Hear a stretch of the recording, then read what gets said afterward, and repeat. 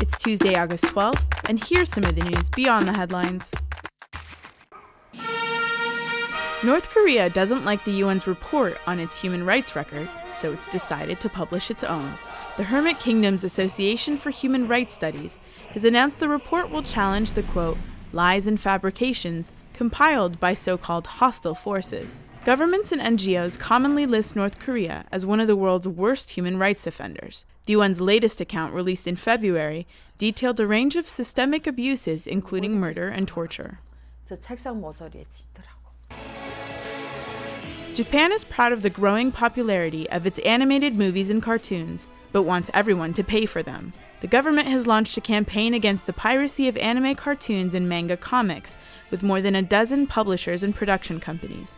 The Manga Anime Guardians project monitors the internet for illegally uploaded media and redirects fans to official paid content. The penalty for piracy in Japan ranges from 2 to 10 years in prison, but that hasn't helped the problem The consortium claims the industry loses an estimated $20 billion a year over pirated material. From action hero to martial artist, Steven Seagal has taken the next chapter of his career to the Crimean Peninsula. The American actor and musician says he played a gig with his blues band in the city of Sevastopol over the weekend to unite people, but some people might be skeptical of his motives. Seagal performed for a crowd of concertgoers, waving Russian and pro Russia separatist flags. The star has come under fire for his support of Russia's annexation of Crimea in March and has said he'd even consider applying for Russian citizenship.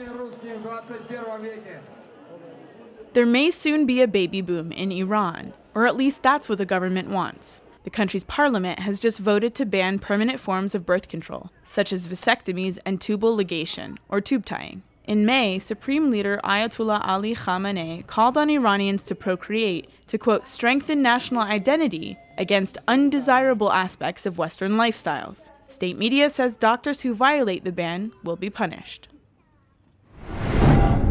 Check out the Vice News YouTube channel for more original reporting and documentaries from around the world.